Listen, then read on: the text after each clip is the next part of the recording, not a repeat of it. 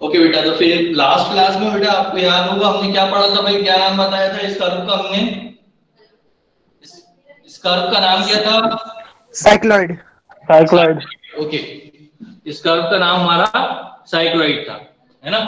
अब बहुत सारे स्टूडेंट्स ने आई थिंक बना भी लिया है साइक्लॉइड लेकिन कुछ स्टूडेंट ऐसे हैं जो कि उनका कर्व जब कट करने की बारी आती है तो वहाँ पर उनको दिक्कत आ रही है कि भाई आप जब कर्व कट किया आपने तो मुझे दिक्कत आने शुरू शुरू हो गई। क्योंकि एक ही वन हाफ़ का ही हमने क्या किया था? उस वक्त कर्व कट किया था। वन हाफ़ कर्व ही हमने वहाँ पर कट किया था। अब बोर्ड दिख रहा है सभी को? सभी को बोर्ड दिख रहा है बेटा? बस सर दिख रहा है।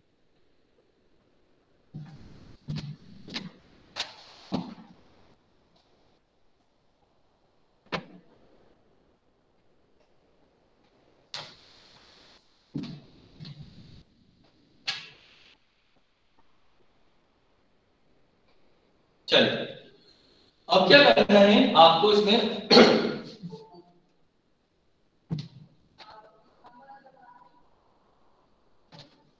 कि बेटा यहाँ पर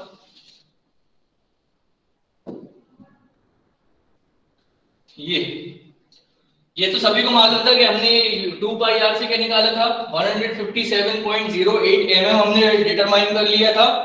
देन उसके बाद हमने सर्किल को कितने पार्ट्स में डिवाइड किया बेटा? सर्किल को कितने पार्ट्स में हमने डिवाइड किया है? बताइए। बारह पार्ट्सों में। ट्वेल्व। ट्वेल्व पार्ट्स में है ना? उसके बाद हमने क्या किया था? यहाँ से एक लाइन ड्रॉ की थी किसी भी एंगल पे एटलीस्ट 45 डिग्री एंगल पे then we divide this line into into 12 equal parts ठीक है? देन उसके बाद we trans, we join the end points of the 12 to 12 dash and then divide this p to 12 line into 12 parts. उसके बाद फिर ये वाली लाइन को हमने 12 पार्ट्स में डिवाइड कर दिया। सर्किल को 12 पार्ट्स में डिवाइड कर दिया था। वन से लेकर हमने हॉरिजॉन्टल लाइन ड्रॉ करी टू से हॉरिजॉन्टल लाइन ड्रॉ करी थ्री से हॉरिजॉन्टल लाइन ड्रॉ करी फोर से फाइव से सिक्स से सेवन से ड्रॉ करी तो फाइव के साथ चला गया। एट को लाइन ड्रॉ करी तो फोर के साथ। नाइन को ड्रॉ करा तो थ्री के साथ टेन को ड्रॉ करा तो टू के साथ इलेवन को ड्रॉ करा तो वन के साथ। ये सारी हमने हॉरिजॉन्टल लाइंस ड्रॉ कर ली थी। देन अब उसके बाद क्या है यहाँ पर कि वन से हमने यहाँ पर क्या है? सेंटर ये सी दिख रहा है। सेंटर ये सेंटर पॉइंट सी दिख रहा है आपको? यस सर ठीक है? तो यहाँ पर सेंटर पॉइंट सी दिख रहा है। अब यहाँ से one two three four five six seven eight nine ten eleven twelve यहाँ से कितने पॉइंट्स आ गए? सारे के सारे नंबर हमें दिए हुए हैं। अब मैंने क्या करा हमने क्या करा था? यहाँ से वर्टिकल लाइंस ड्रॉ करी थी। C1, C2, C3, C4, C5 सारी लाइंस ट्रांसफ़र कर दी कहाँ पर? सेंटर लाइन पर। हमने सारी की सारी लाइंस ट्रांसफ़र कर दी थी। और यहाँ पर हमारे पास क्या आ गए थे? सारे के सारे सेंटर्स आ गए। अब यहाँ से हमें थोड़ी सी दिक्कत होती है कि अब आप मुझे ये बताइए कि आर कितना रहेगा? अच्छा कितने सेंटर है? सेंटर कितने हैं हमारे पास? ये कोई बताएगा मुझे? कितने सेंटर है हमारे पास? बताइए। है ना? एक सेंटर तो ये रहा लेकिन इसकी मुझे ज़रूरत नहीं है क्योंकि यहाँ पे ऑलरेडी मेरे पास पॉइंट भी है लेकिन अब बारह सेंटर है मेरे पास। ठीक है? अब उसके बाद क्या हो जाएगा? अगर मैं आपसे पूछूँ आपके पास बारह सेंटर हैं तो रेडियस कॉमन रहेगा सब में? यस सर ठीक है। तो रेडियस कॉमन रहेगा तो सर्किल अगर 50 एम mm का डायमीटर था तो रेडियस कितना हो जाएगा? 2.5 twenty five M M 25 25 mm ठीक है रेडियस 50 mm है तो वो सॉरी डायमीटर 50 mm है तो रेडियस कितना हो जाएगा? 25 mm हो जाएगा। क्लियर है? अब उसके बाद हम क्या करेंगे? अब यहाँ पर देखिएगा ये क्या हुआ है मेरा सेंटर C1 सेंटर क्या हो जाएगा? C1 रेडियस कितना है? 25 mm आर्क कट कीजिए। इस सी के साथ क्या आ रहा है? वन। इस C के साथ क्या आ रहा है? वन। तो उस लाइन को कट करना है बेटा, उस लाइन को कट करना है। जो लाइन वन को टच करती हुई जा रही हो सर्किल से। तो सर्किल से ये वाली लाइन वन को टच करती हुई जा रही है। आप C1 पर सेंटर रखिएगा, ये मेरा कंपास का निडल, आपके कंपास की निडल सुई यहाँ पर रखिएगा सी वन पर। एंड देन उसके बाद फिर एक आर्क कट करना है, आपको आर्क कहाँ कट होगा? 25 mm का, इस तरफ़। ठीक है? क्लियर है? यहाँ पर एक आर्क कट हो जाएगा। इसको मैं नाम दे देता हूँ P1 क्लियर है? सेंटर द C1 लाइन कहाँ से पास हो रही है? सर्किल के पास से वन के पास से आर्क कट किया पॉइंट क्या आया? P1 इसी तरह से फिर क्या हो जाएगा? सेंटर अगला वाला C2 रेडियस क्या रहेगा? ट्वेंटी 25 mm ठीक? तो यहाँ पर हमने कंपास की निडल रखी। और यहाँ पर क्या करेंगे हम? एक आर्क कट करेंगे। कहाँ पर? उस लाइन से, उस लाइन पर जो कि टू को सर्किल के टू नंबर को पास करती हुई जा रही हो। तो एक आर्क कट कर दिया यहाँ पर। क्लियर है? दो नंबर को पास करती हुई जा रही है। टू को पास करती हुई जा रही है सर्किल से। सेंटर सी टू पे हमने क्या करा? कंपास की निडल रखी। एक आर्क कट कर दिया जनरेट कर दिया। यहाँ पर पॉइंट क्या है आपका? P2 क्लियर है यहाँ तक सभी को? यहाँ तक Yes, सभी क्लियर है किसी को कोई डाउट है क्या? यस सर नो सर किसी को कोई डाउट है? No, sir. चलिए। नो सर उसके बाद क्या हो जाएगा? हमारे पास C3 C3 में देखो C3 C के साथ क्या लिखा है? 3 तो उस लाइन पर कट करना है जो 3 के पास से होके गुजरेगी तो ये रहा 3 पॉइंट ये जा रही है अपनी ऑरेंज वाली लाइन तो यहाँ पर हम क्या करेंगे? कंपास की नीडल यहाँ रखेंगे और एक आर कट कर देंगे यहाँ पर। ठीक? तो ये क्या पॉइंट हो जाएगा मेरे पास? ये हमारे पास पॉइंट हो जाएगा पी फोर ये क्या पॉइंट हो जाएगा पी फोर दिख रहा है पी फोर ठीक है, सभी लोग ध्यान से देखना, ये वाला जो पॉइंट आर कट हुआ है यहाँ पर, ये कहला रहा है P four sorry P three P three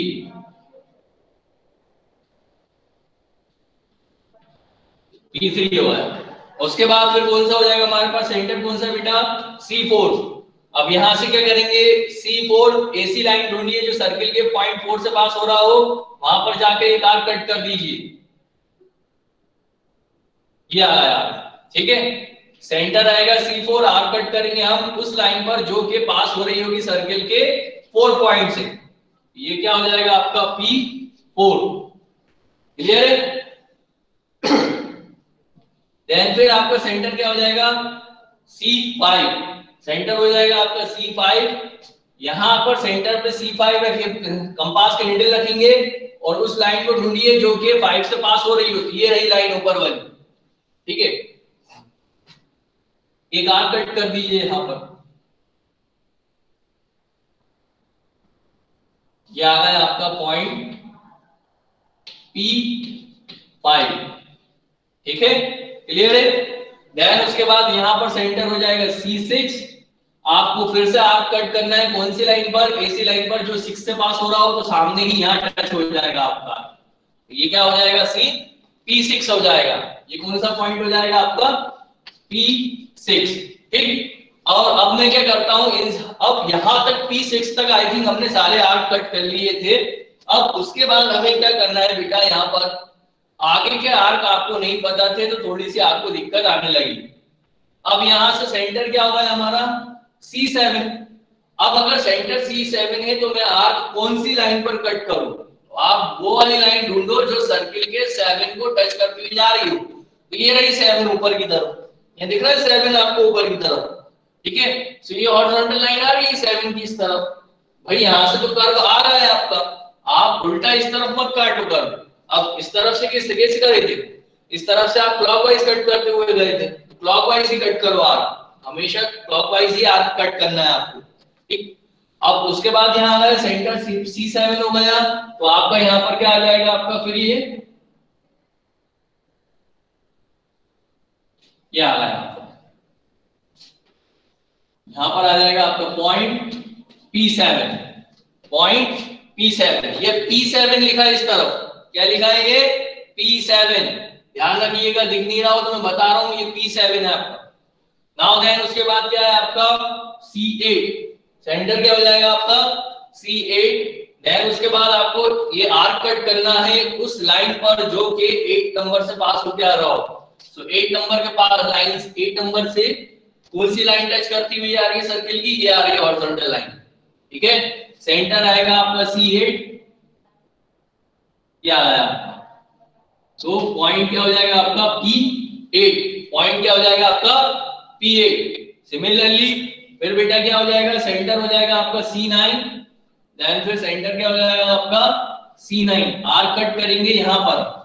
यहाँ क्यों किया? सेंटर सी नाइन है। उस लाइन को कट करना है जो नाइन नाइन नंबर के सर्किल को टच करती हुई आ रही होगी ये रहा हमारा नाइन नंबर का सर्किल इस नाइन नंबर के सर्किल को हमारी हॉरिजॉन्टल लाइन टच करती हुई गुजर रही है तो वहाँ पर हमने क्या कर दिया है एक आर कट कर दिया है जिसको हम नाम दे रहे हैं पी नाइन अभी तक किसी को कोई डाउट है यहाँ पर? चंदन शिवांश कुछ डाउट है क्या? No sir no sir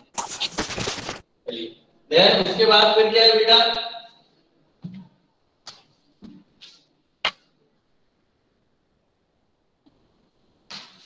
then फिर हम क्या कर रहे हैं यहाँ पर? ये C8 और P9 हो गया। सेंटर क्या हो जाएगा? देन फिर हमारा ये हो जाएगा C10 सेंटर हो जाएगा हमारा C10 उस लाइन पर आर्क कट करना है जो 10 नंबर से पास हो रही हो। ये रही 10 नंबर की लाइन ये जा रहा है किस तरफ़ और हमेशा क्लॉकवाइज ही हमें घड़ी की दिशा में ही आर्क कट करना है एंटी क्लॉकवाइज नहीं जाना है। हर बार। तो सेंटर क्या हो गया? C10 है। देन उसके बाद किस तरफ़ आ जाएँगे हम? ये आ रहा है हमारे पास, एक यहाँ कट कर दिया। तो पॉइंट क्या हो जाएगा? P10 सिमिलरली लास्ट में हमारे पास कौन सा आर्क बचता है? एक C11 बचेगा।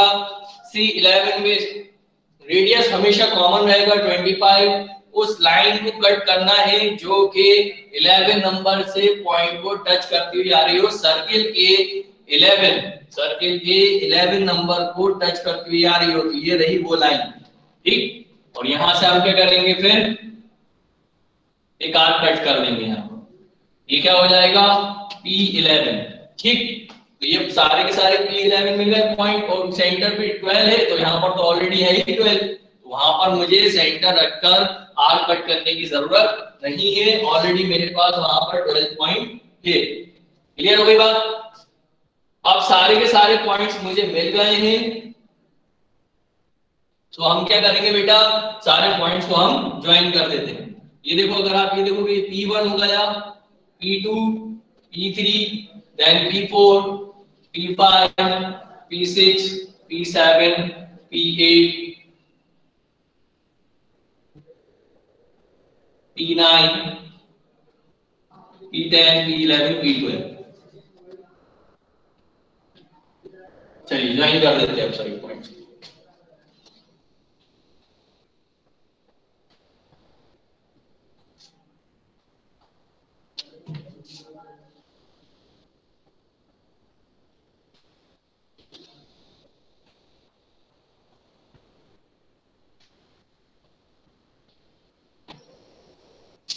एक्चुअली में ये कर्व ऐसा नहीं आएगा, कैसा आएगा? बिल्कुल इस तरह से फ्लो होता हुआ आएगा। ठीक है?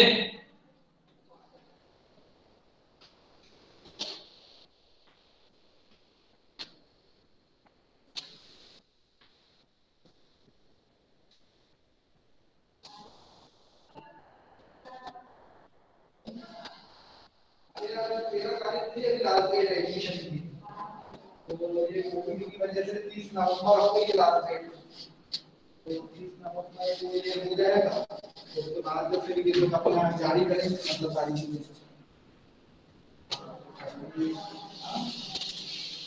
ठीक, इस तरह से आएगा तो ये रहा आपका P7 P8 P9 देन फिर P10 P11 देन फिर लास्ट में P12 तो आपका क्या बन जाएगा यहाँ पर? इस तरह से ही आपका साइक्लोइडल कर्व आपका बन जाएगा। क्लियर है? इस क्वेश्चन में अभी किसी को कोई डाउट है तो पूछ लीजिए। नहीं तो फिर टेंजेंट नॉर्मल बनाए।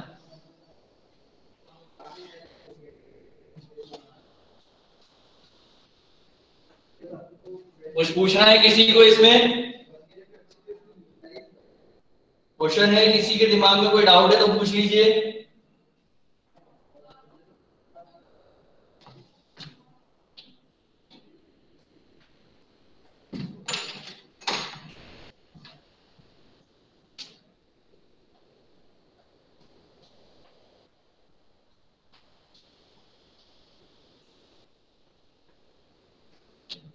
ठीक है? आ गया समझ में सभी को? साइक्लोइड अब यहाँ पर हमें नेक्स्ट क्वेश्चन को बताएगा इसके बाद आगे क्या लिखा था? टेंजेंट एंड नॉर्मल हमें ड्रॉ करना था। कितने डिस्टेंस पे? को बताएगा मुझे कितने डिस्टेंस पे हमें टेंजेंट नॉर्मल ड्रॉ करना है? कोई थर्टी फाइव बताएगा एम एम हाँ? Thirty five M M 35 mm okay good so अब हमें टेंजेंट नॉर्मल ड्रॉ करना है। At a distance of 35 mm. So so, बेटा जब ये टेंजेंट नॉर्मल हमें ड्रॉ करना है 35 mm पर तो उसके लिए क्या करना पड़ेगा? आपको एक पॉइंट ड्रॉ करना होगा। अपना स्केल लीजिएगा। यहाँ से एक लाइन ड्रॉ कीजिए ऊपर की तरफ़ हल्का सा और यहाँ पर आके एक पॉइंट मार्क कर दीजिएगा।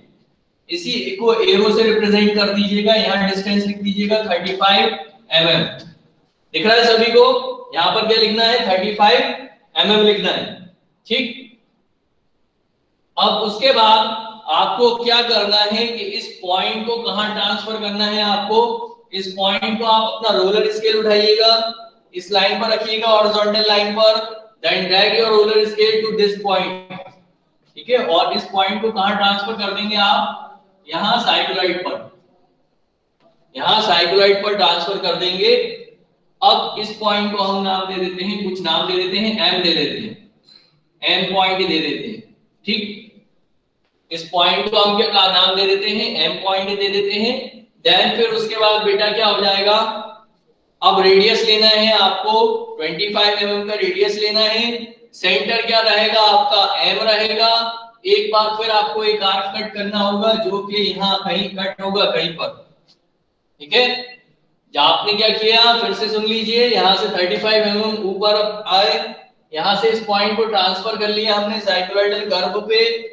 एम पॉइंट पर हमने फिर क्या किया? कंपास को रखा, अपने कंपास की निडल रखी, एक आर्क कट किया, ठीक है? अब इस आर्क को हमने, इस आर्क को यहाँ पर सी एम नाम दे देते हैं। मतलब ये सेंटर ये पॉइंट कहाँ से आया? सी एम पॉइंट से आया। तो इसलिए मैंने इसको नाम क्या दे दिया है? सी एम ठीक? अब इस पॉइंट को मैं कहाँ ड्रॉप कर लेता हूँ? सी एम पॉइंट को नीचे की तरफ़ ड्रॉप कर लेता हूँ, यहाँ, ठीक? यहाँ पर पॉइंट ड्रॉप कर लिया मैंने अब यहाँ से ये स्मॉल सीएम हो गया था, यहाँ कैपिटल सीएम कर देना। ठीक है? इस कैपिटल सीएम को मैंने यहाँ पर एम कर देना, इसको एम कैपिटल एम कर देना। इसको स्मॉल एम कर लेना। ठीक है? अब यहाँ से मैंने क्या किया बेटा? यहाँ से सिर्फ़ एक आर कट किया था यहाँ पर।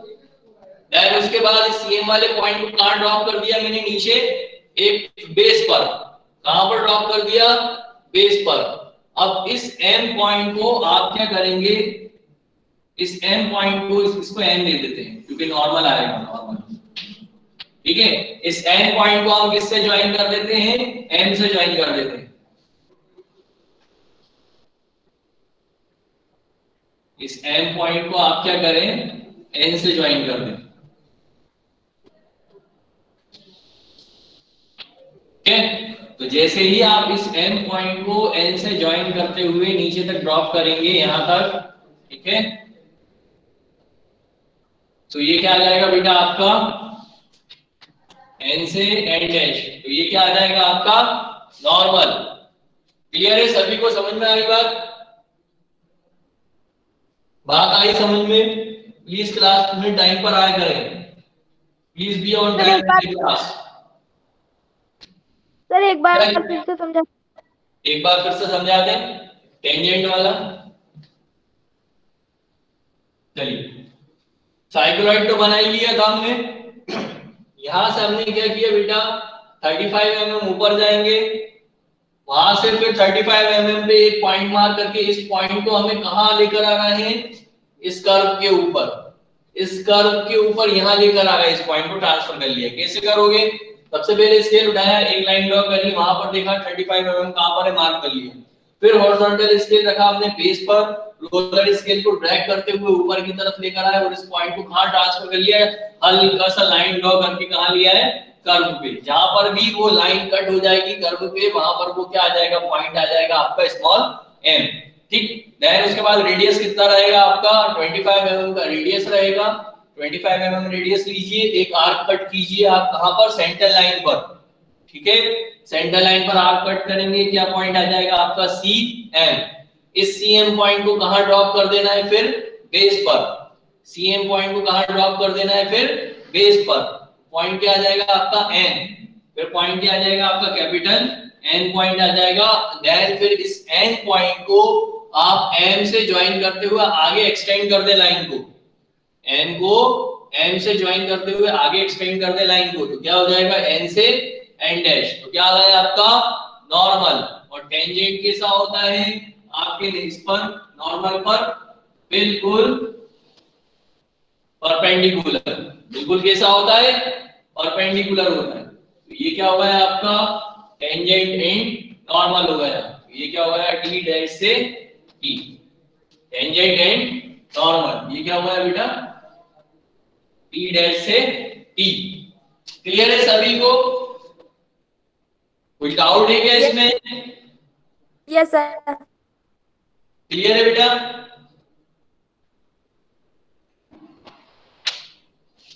यस सर हाँ, चंदन शिवांश। ये सर क्लियर है। चलिए। तो मेरे ख्याल से हमारे बहुत सारे स्टूडेंट साइक्लोइड बना चुके, कुछ स्टूडेंट्स हैं बस आप बहुत सारे तो नहीं कहूँगा, तीन या चार स्टूडेंट्स ने मुझे साइक्लोइड बना के भेजा था और शायद एक दो स्टूडेंट्स का ऐसा दिक्कत थी कि कुछ का पॉइंट यहाँ आ रहा था और यहाँ ऊपर की तरफ़ नहीं जा रहे थे, यहाँ से नीचे आ रहे थे। और एक दो स्टूडेंट ऐसे थे जिनका साइक्लोइडल कर्व यहाँ खत्म हो रहा था, यहाँ नहीं खत्म होगा, वो यहाँ होगा। यहाँ अगर खत्म हो रहा है तो इसका मतलब ये है कि आपने आर्क कहीं ना कहीं किसी गलत लाइन पर आर्क कट कर दिया है। ये बात ध्यान में रखिए, अगर आप सी सेवन बोल रहे हैं तो जो सी के साथ सेवन का मतलब ये है कि सर्किल पे से वो लाइन हॉरिजॉन्टल लाइन जो कि सर्किल के सेवन पॉइंट को टच करके आ रही है, आपको वहाँ पर आर्क कट करना है। ये बात? ठीक है? तो इस बात का ध्यान रखें। यहाँ अगर गलती होगी तो ही कर्व गड़बड़ होगा अदरवाइज़ गड़बड़ नहीं होता। ठीक है? तो यहाँ पर अपने पूरे का पूरा हमने साइक्लोइड बना लिया है टेंजेंट नॉर्मल भी दे दिया है। यहाँ पर डायमेंशन शो करना मत भूलना एंड में। ये सर्किल कितने का, कितना डायमीटर था बेटा हमारे सर्किल का यहाँ पर? सर्किल का डायमीटर था हमारा 50 mm ठीक? ये रिप्रेजेंट करना है हमें सर्किल का डायमीटर होगा 50 mm इसी तरह से एक क्या करेंगे अब आप? एक लीडर बना के यहाँ शो कर देंगे। ये क्या है आपका? साइक्लॉइड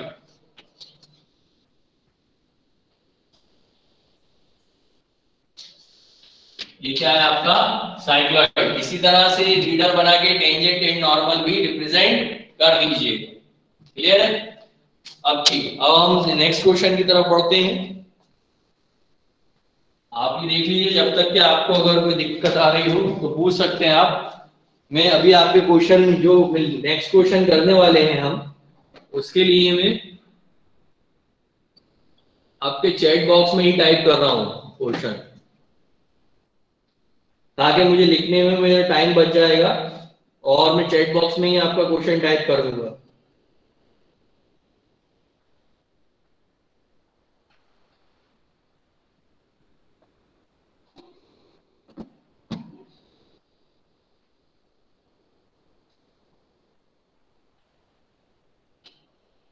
जब तक एक बार और रिवाइज कर लीजिए आप साइक्लोइड का, ताकि आपको अगर कोई दिक्कत हो या कोई क्वेश्चन पूछना हो आपको तो आप मुझसे पूछ सकते हैं।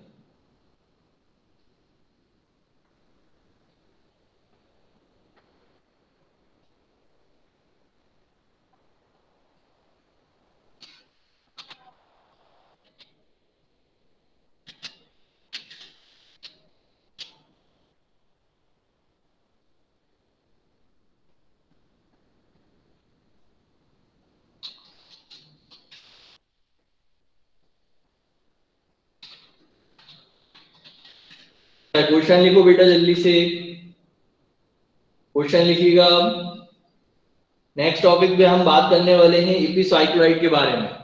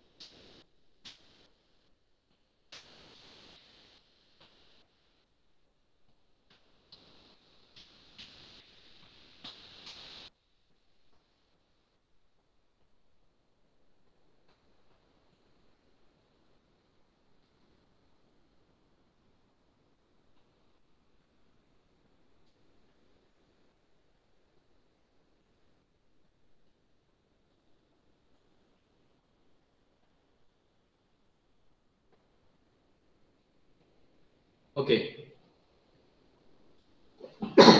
सो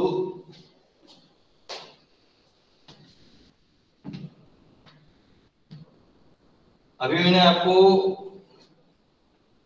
क्वेश्चन सेंड किया है। आप सभी लोग क्वेश्चन पढ़ सकते हो वहाँ पर और इस क्वेश्चन को मैं रब कर रहा हूँ। अभी लास्ट टाइम पूछ रहा हूँ किसी को कोई डाउट है तो पूछ लीजिए। कुछ डाउट है क्या किसी को इस टॉपिक में अब?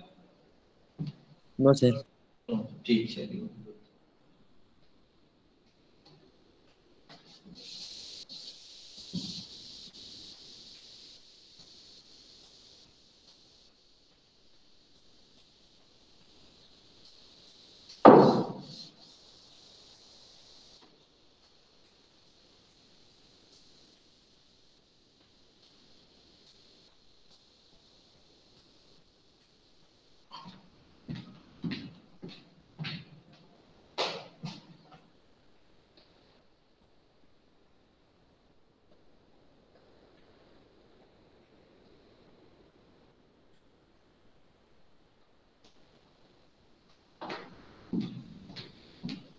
क्वेश्चन सभी को दिख रहा है वहाँ पर? सर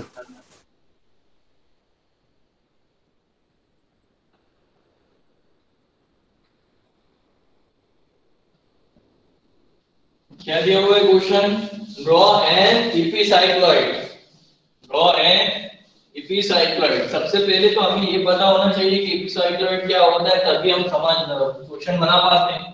तभी हम क्वेश्चन बना सकते हैं अदरवाइज़ हम क्वेश्चन नहीं बना पाएँगे कि इपिसाइक्लॉइड होता क्या है। देखिए।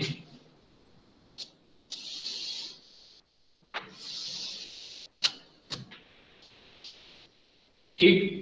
ये एक तरह से एक बड़ा सा सर्किल होता है। ये क्या होता है? एक बड़ा सा सर्किल है, जिसका सिर्फ़ मैंने हाफ़ पोर्शन बनाया है, जबकि बड़ा सा ये सर्किल है। ये बड़ा सा सर्किल ठीक है? लेकिन इसका सिर्फ़ एक हाफ़ पोर्शन ही मैंने बनाया और देन उसके बाद क्या है यहाँ पर? एक छोटा सा सर्किल ठीक है? ये सर्किल क्या कर रहा है? ये सर्किल इस दूसरे सर्किल के ऊपर रोल हो रहा है।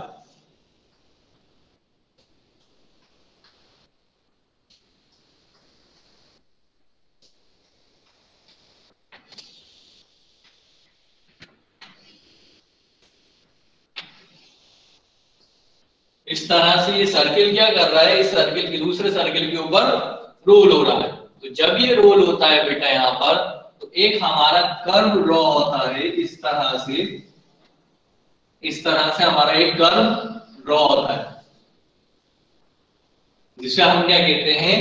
एपिसाइक्लोइडल कर्व कहते हैं। मतलब कि साइक्लोइड में क्या होता था? एक सर्किल सीधा स्ट्रेट पाथ पर रोल होता था। एपिसाइक्लोइड के कर्व में क्या होता है कि हमारा एक सर्किल क्या करता है? किसी सर्कुलर सरफेस के ऊपर रोल होता है। उस दौरान अगर आप इस पॉइंट के सरकमफ्रेंस पर जो पॉइंट आ रहे हैं, उन पॉइंट को अगर आप टेस्ट करते हैं तो हमें क्या पॉइंट क्या मिल जाता है आपको? एपिसाइक्लोइड मिल जाता है। अब यहाँ पर एपिसाइक्लोइड क्या होता है?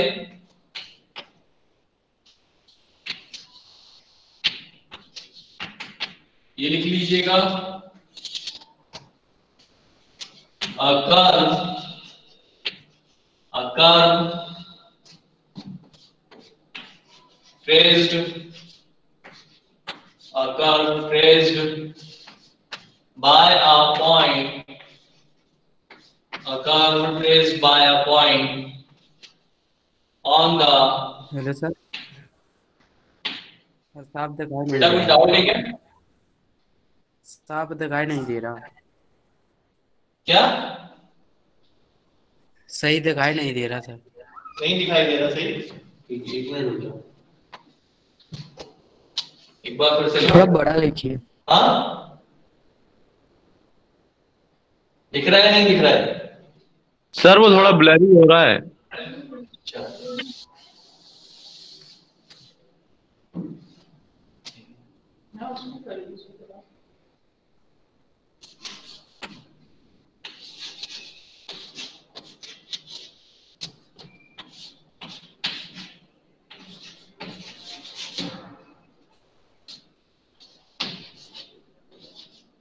सभी दिख रहा है? A curve a curve by a point on the on the circumference of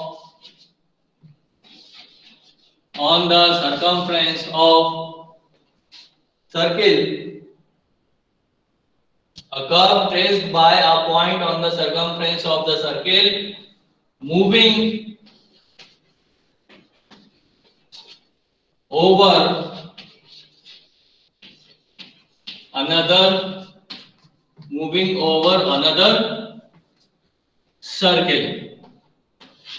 Moving over another circle. Simple सा a curve traced by a point on the circumference of circle moving over another circle. ठीक है? इस चीज़ को आप खुद भी लिख सकते हो। अगर कोई एक सर्किल है एक दूसरे बड़े सर्किल के ऊपर अगर कोई मूव हो रहा है तो उसे हम क्या कहते हैं? आपका एपिसाइक्लॉइड स्पेलिंग है। E P I C Y C L O I D epicycloid अभी दिख रहा है? सर दिख रहा है। दिख रहा होगा अच्छा।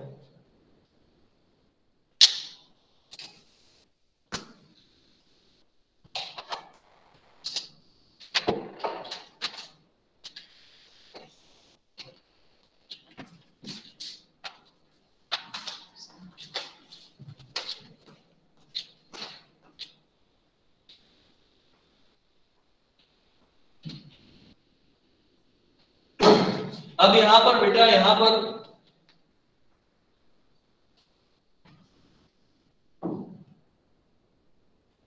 ये एक चीज़ पूछूँ अगर मैं आपसे कि साइक्लोइडल कर्व में हमारा जब सर्किल रोल करता था, उस रोलिंग सर्किल को हम क्या कहते थे? उस, जो सर्किल रोल होता था, उसे हम और क्या कहते थे? किसी को कुछ याद है? उस रोलिंग सर्किल को जो कि एक स्ट्रेट पाथ पे रोल होता था उसे हम क्या कहते थे? याद रखिएगा ये आपके वायवा में पूछा जा सकता है इसे हम रोलिंग सर्किल या जनरेटिंग सर्किल कहते हैं। रोलिंग सर्किल या जनरेटिंग सर्किल कहते हैं। अभी इतना नोट कर लिया सभी ने? इतना लिख लिया है सभी ने? यस सर यस सर आगे का लिखिए देखिए ये रख कर रहा हूँ।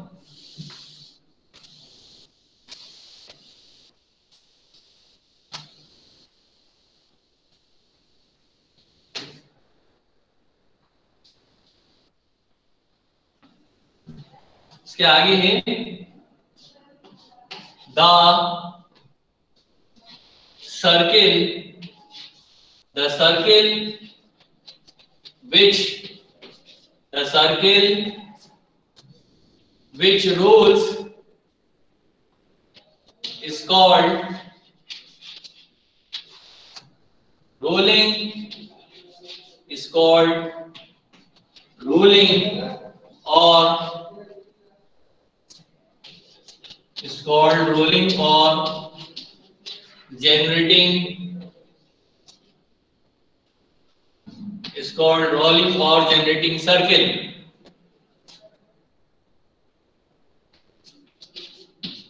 And the path and the path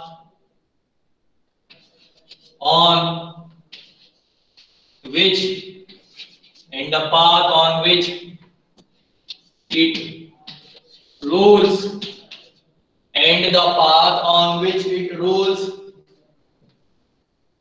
is called is called directing line or directing. Is called directing line or directing circle. Is called directing line or directing circle. ठीक है?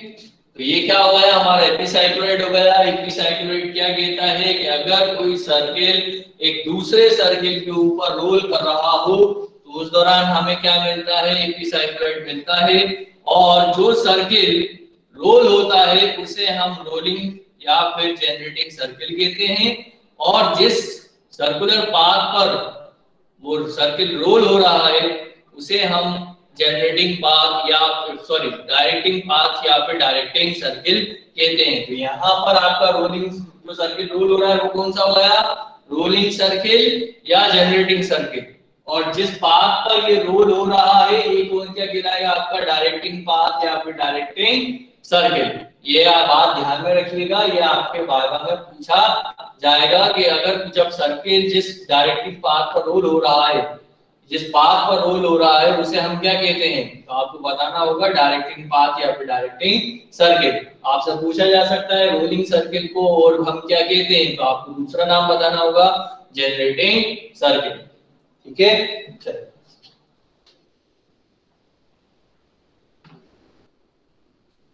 अब यहाँ से तब कर ले हम इसको।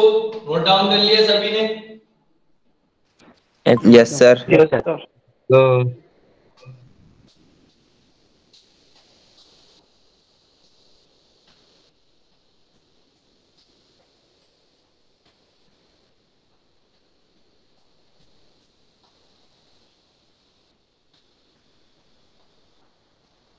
चलिए, अब इस एपिसाइक्लॉइड का थोड़ा बहुत कंस्ट्रक्शन हम देख लेते हैं, कैसे देखते हैं, उसके बाद ये कंप्लीट होगा ये अगली क्लास में ही हो पाएगा।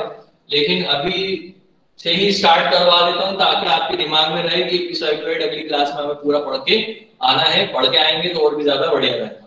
ठीक? अब क्वेश्चन कौन पढ़ेगा? वहाँ पर देखिए चैट बॉक्स में जाके देखिएगा तो क्वेश्चन हमने दे रखा है वहाँ पर। पढ़िए जरा क्वेश्चन कोई पढ़ के बताएगा मुझे क्या लिखा हुआ है क्वेश्चन में? Draw an epicycloid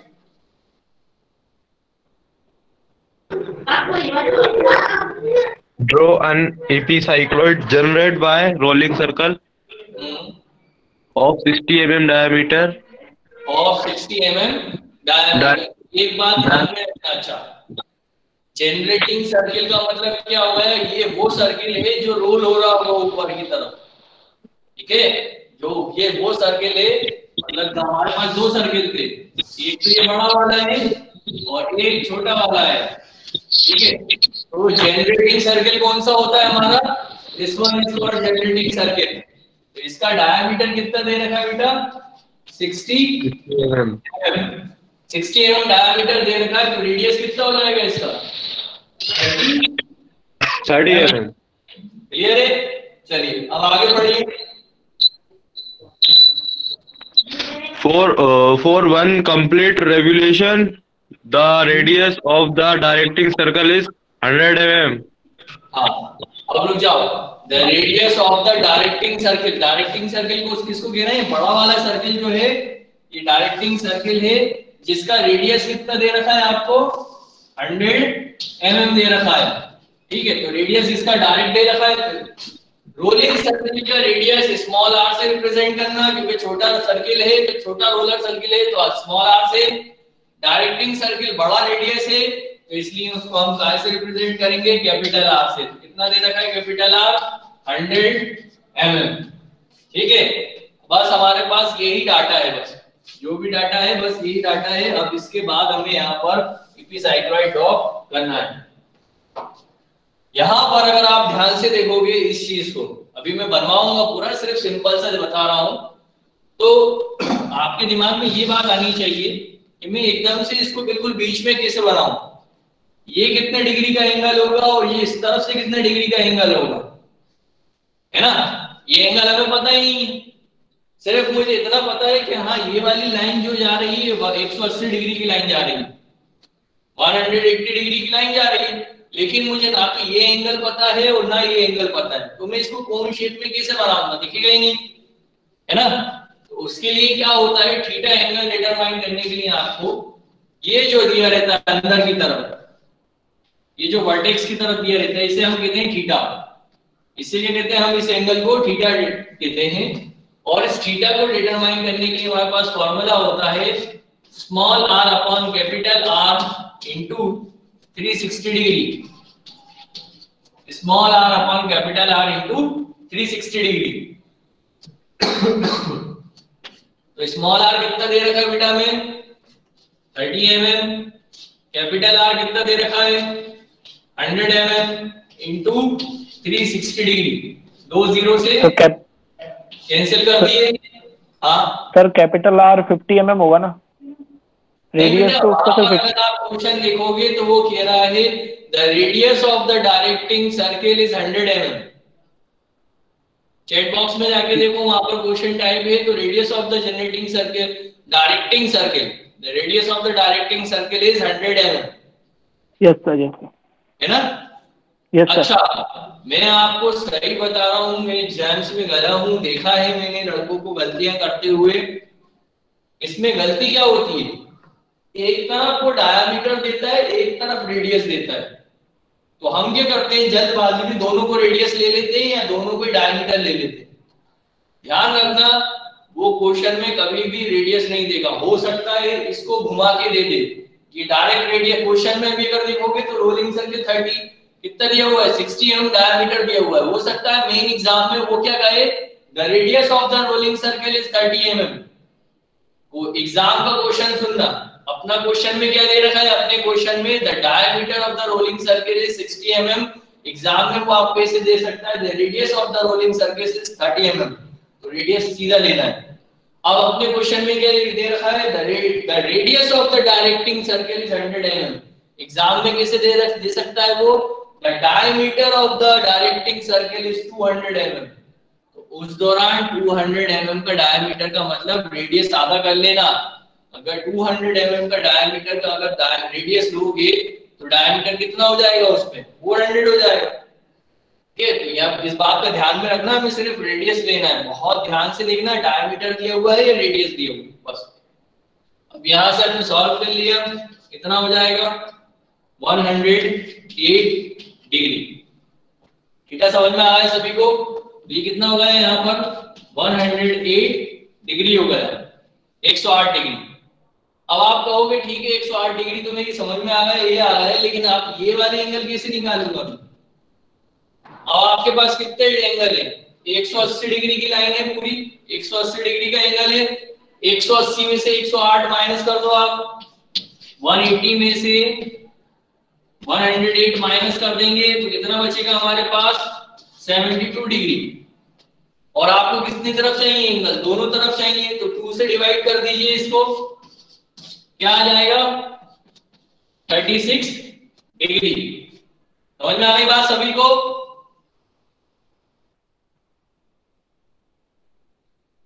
Sanjay? Surendra? Yes sir है? ठीक चलिए तो ये कितना हुआ है बेटा? ये एंगल हुआ है हमारा 36 डिग्री और ये एंगल भी हुआ है हमारा 36 डिग्री ठीक है? तो ये कैलकुलेशंस जो है ये आप ध्यान में रखिएगा। R upon r into 360 degree तो थीटा की वैल्यू आ जाएगी 108 डिग्री और x 180 में से माइनस कर दीजिएगा 108 और डिवाइड बाय 2 कर देंगे तो आपको दोनों तरफ़ के एंगल मिल जाएँगे। क्लियर है? चलिए। अब यहाँ पर, ये रब कर रहा हूँ मैं।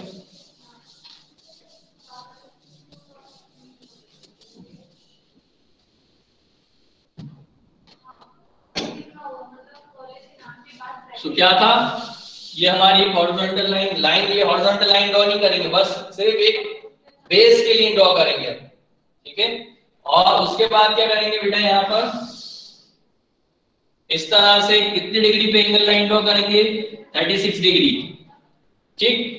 इसी तरह से फिर एक लाइन ड्रॉ करेंगे इस तरफ़। ये भी क्या हो जाएगा? 36 डिग्री क्लियर है? 36 और 36 हो गया। सभी की बात आ गई समझ में? अच्छा इस डायरेक्टिंग सर्कल का रेडियस कितना है? 100 mm 100 mm तो कंपास की नीडल यहाँ पर रखिएगा ओ पर रेडियस मेजर कर लीजिएगा 100 mm और पेंसिल से एक आर कट कर देना। यहाँ से पेंसिल से एक आर कट करोगे कितना आएगा यहाँ पर? ये आ गया एक आर का।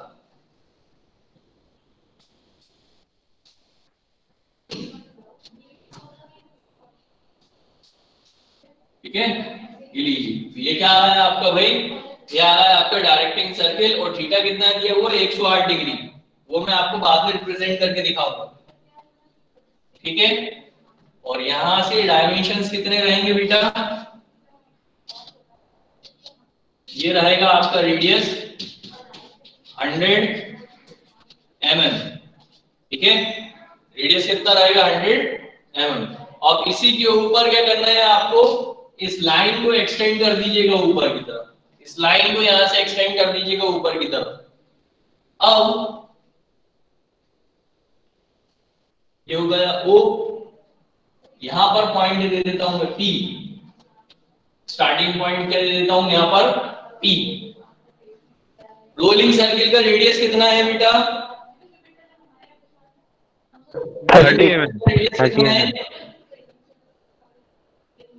थर्टी एम ठीक है? यहाँ तक पी पॉइंट पर सेंटर रख के एक आर कट कर दीजिएगा। पी पॉइंट पर सेंटर रख के एक आर कट कर दीजिएगा। ये क्या हो जाएगा? आपका थर्टी एम हो जाएगा। और फिर यहाँ पर ये जो पॉइंट आया आपका ओ डैश इसको नाम दे देते हैं ओ डैश ओ डैश को सेंटर लेकर आप 30 एम का क्या बना दीजिए? एक सर्किल ड्रॉ कर दीजिएगा। 30 एम का क्या ड्रॉ कर देंगे? सर्किल ड्रॉ कर देंगे।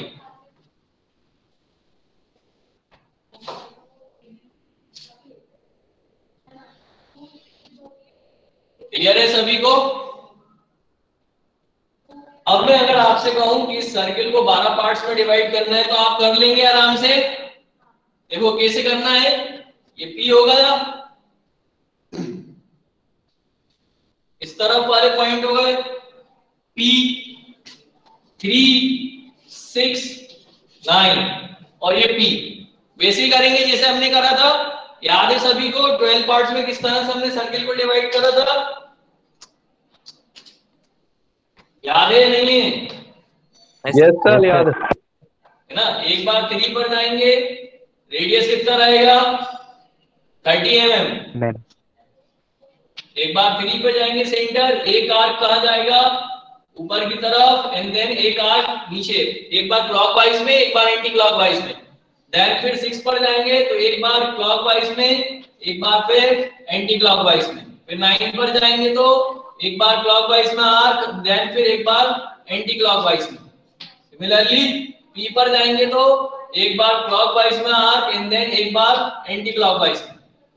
तो इस तरह से हमारे पास कितने हो जाते हैं? 12 पॉइंट हो जाते हैं। किसी को नहीं आया हो समझ में तो पूछ लीजिए। हो सकता है किसी की पहली क्लास हो या दूसरी क्लास हो। सभी को पता है किस तरह से डिवाइड करते हैं हम 12 पार्ट्स में? बहुत बढ़िया, चलिए। यहाँ से क्या हो जाएगा? सभी पॉइंट्स को बेटा हम ज्वाइन कर देते हैं।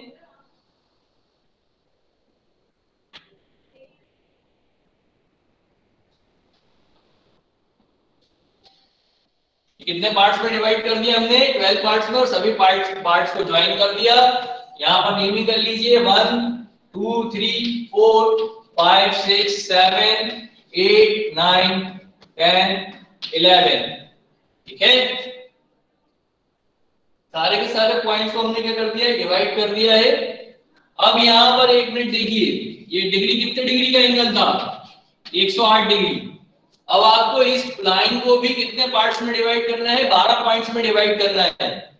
तो 108 डिग्री को अगर 12 से डिवाइड करोगे तो क्या आएगा? 9 डिग्री क्या आएगा? 9 डिग्री तो आप क्या करेंगे? अपने डी को यहाँ रखेंगे। सभी लोग ध्यान से देखना बेटा। आपके डी को कहा रखना है? मैं बता रहा हूँ फिर से। यहाँ रखना है डी को। इस तरह से आएगा आपका डी। ये डी है आपका। इस तरफ़ क्या दिख रहा होगा आपको? ज़ीरो। इस तरफ़ क्या दिख रहा होगा? ज़ीरो। फिर ज़ीरो से ऊपर जाओगे तो क्या आएगा? नाइन। फिर एटीन। फिर ट्वेंटी सेवन देन फिर थर्टी सिक्स क्लियर है बात सभी को? बात आ रही समझ में सबके? यस सर ठीक.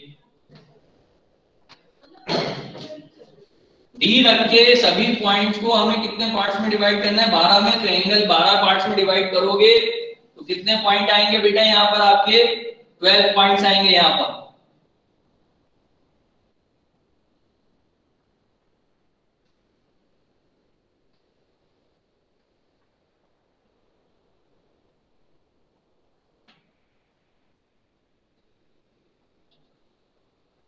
ठीक है? और जब ये सारे के सारे ट्वेल्व पॉइंट्स आ जाएँगे आपके तो ये सारे के सारे ट्वेल्व पॉइंट्स को आपको ज्वाइन कर देना है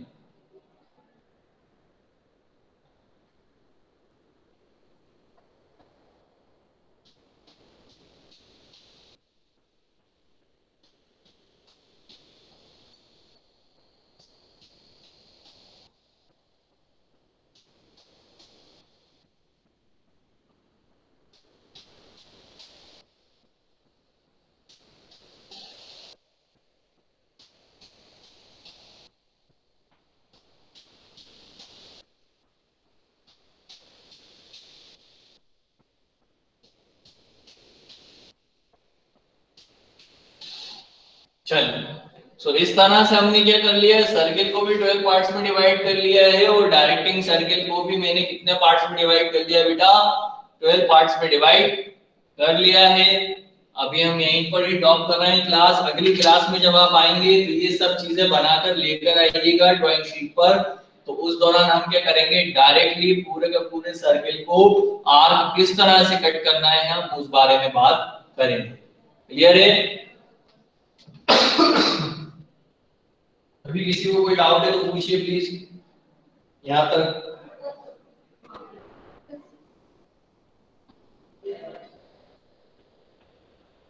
बेटा, यहाँ तक अगर किसी को डाउट है तो प्लीज़ पूछिए।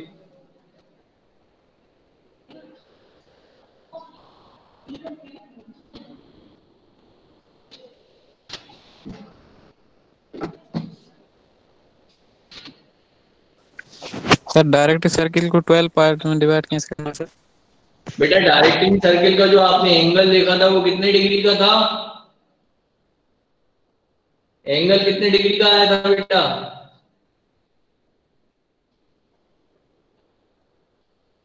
चलो एक बार और समझा ये सर्किल कितने डिग्री का आया था ये वाला अंदर की तरफ़? 108 एक सौ? वन हंड्रेड एट डिग्री का आया था? वो निकाला था हमने इसका theta equal to small R upon capital R into 360 degree small R था हमारा 30 कैपिटल आर था हमारा 100 इनटू 360 डिग्री इसको सॉल्व किया तो कितना आया था हमारे पास? 108 डिग्री 108 अब इस 108 को 12 पार्ट में डिवाइड करना है 12 से डिवाइड करोगे तो हर एक एंगल के बीच का डिग्री कितने डिग्री का एंगल आएगा? 9 डिग्री 12 वन जा 12 12 नाइन जा 108 तो हर एक एंगल कितने डिग्री पे आएगा? 9 डिग्री पे। इसका मतलब 9 का टेबल आपको हर बार पढ़ते हुए जाना है। भाई 9 18 27 36 45 54 63 72 81 90 99 108 क्लियर है? अभी यस सर ठीक है? एक मिनट रुक जाइए आप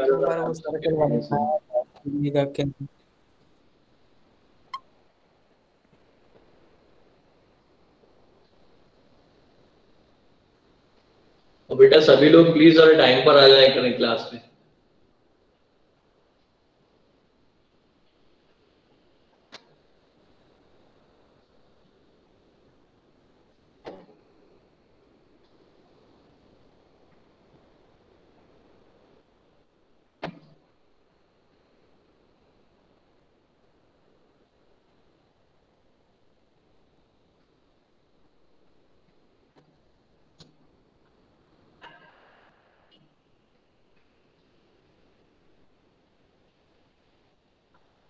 चलिए बेटा लास्ट टाइम फिर पूछ रहा हूँ, किसी को कोई डाउट है तो पूछ लीजिए इसमें एपिसाइक्लोइड वाले क्वेश्चन में। यहाँ तक अभी हाल फ़िलहाल यहाँ तक हम कर रहे हैं। नेक्स्ट क्लास में फिर से हम इसको क्वेश्चन को कंटिन्यू करेंगे। आप लोग प्लीज़ ये क्वेश्चन ज़रूर बनाएँ, घर पे अभी थोड़ा सा प्रैक्टिस करें, इसकी इतना बना लें और साइक्लोइड वाला भी पूरा बनाएँ। ठीक है, आज मैं आपको आपके असाइनमेंट के दो क्वेश्चन शेयर करूँगा। एक इलिप्स वाला बना के देना है सभी को एंड देन फिर एक पैराबोला बना के देना है सभी को। क्लियर है? जो बच्चे बना चुके हैं वो हैंड टू हैंड मुझे भेज देंगे मैं उनके नंबर दे दूँगा उनको। जिन्होंने नहीं बनाया है वो अगली क्लास तक मतलब के परसों के दिन थर्सडे के दिन जब अपनी क्लास रहेगी जब तक आपको मुझे बना के सेंड करना है। क्लियर है सभी को?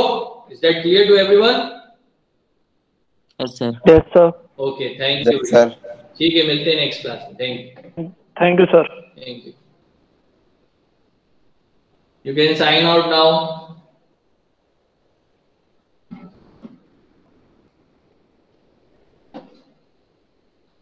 sir attendance ले ली बेटा हमने अटेंडेंस ले लिया आपकी डोंट वरी ओके सर इनका वीडियो नहीं मिलेगा क्या यूट्यूब पे? वीडियो यूट्यूब पे आप मालूम भी नहीं? आ, बेटा अभी बना के भेज दूँगा मैं ना? आज या कल में मिल जाएगा आपको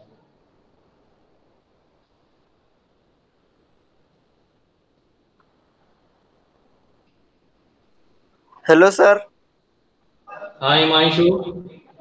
सर वो असाइनमेंट के क्वेश्चन आप क्लासरूम पे डालेंगे। हाँ बेटा क्लासरूम पे मिल जाएँगे।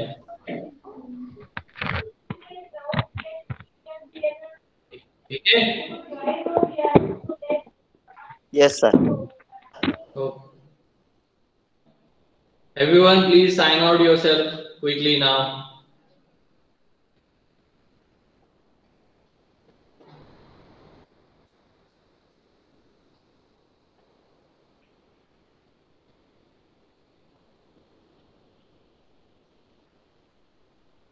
Nikita, Rahul, Shanawaz, please sign out, yourself, please.